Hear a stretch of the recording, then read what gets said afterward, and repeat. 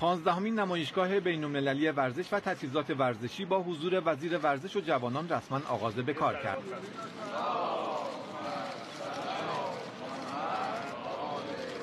در این نمایشگاه تولید کنندگان و فروشندگان لوازم ورزشی در قالب 110 شرکت حضور دارند. نسبت به پارسال تقریبا 100 درصد رشد داشته. تو بخش خارجی و تو بخش داخلی.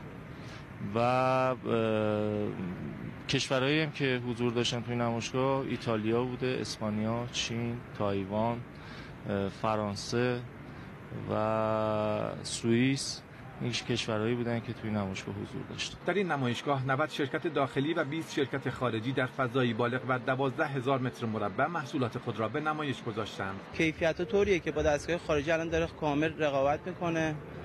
بعد تولیدات ما همش داخلیه یعنی صفر تا صدش همینجا داخل تولید می‌کنیم. خدا رو شکر استقبال خیلی بهتر شده به خاطر اینکه دستگاه وارداتی گرونتر شده و وقتی که دستگاه گرونتر بشه فروش دستگاه ایرانی بیشتر میشه. ایجاد فضای رقابتی و ارتقای کیفی تولیدات از مهمترین اهداف برگزاری این نمایشگاه است. اینطوری که گزارش به من دادن خوشبختانه روز به روز کیفیت کالاها و لوازم تولید شده در داخل ایران افزایش پیدا می‌کنه و بسیاری از اونها قابل رقابت هستن با نمونه های خارجیش. همینجور که ما رو دارن حمایت می‌کنن جلوی واردات هم رو بگیرن بزنن تولید داخلی خورده جون بگیره. انشالله با افزایش کیفیت کالای داخلی یواش یواش این کالای قاچاق هم انشالله کم میشه و شرایطی به وجود بیاد که ما دیگه تو بازار کالای قاچاق نداشته باشیم. نمایشگاه بین‌المللی تجهیزات ورزشی تا 28 دی ماه آماده بازدید علاقمندان است.